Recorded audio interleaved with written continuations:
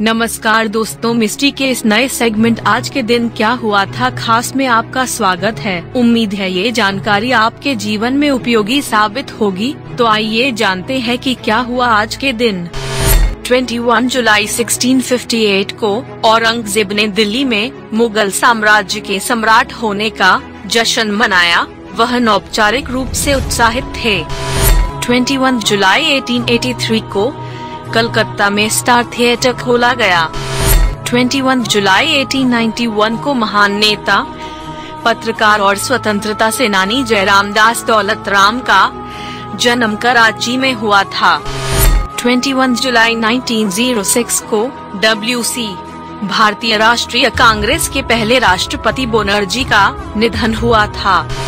21 जुलाई 1907 को पूर्व प्रधानमंत्री जम्मू और कश्मीर, गुलाम मोहम्मद बख्शी का जन्म हुआ था।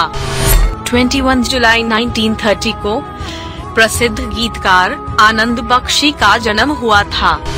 21 जुलाई 1934 को चंद्रकांत गुलाब राव बोर्डे, क्रिकेट बल्लेबाज, भारत 1959-67 के लिए 55 टेस्ट पुणे में पैदा हुए थे। 21 जुलाई 1936 को वरिष्ठ पत्रकार और रत्नागिरी जिला परिषद के अध्यक्ष वसंतराव विष्णु लिमय का जन्म हुआ था।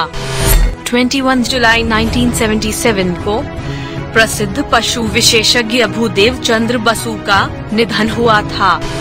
21 जुलाई 1995 को प्रसिद्ध फ़िल्म संगीत निर्देशक सज्जाद हुसैन का निधन हुआ था। उम्मीद है ये जानकारी आपके लिए लाभदायक होगी। ऐसी और जानकारी देखने के लिए चैनल को सब्सक्राइब करना ना भूलें।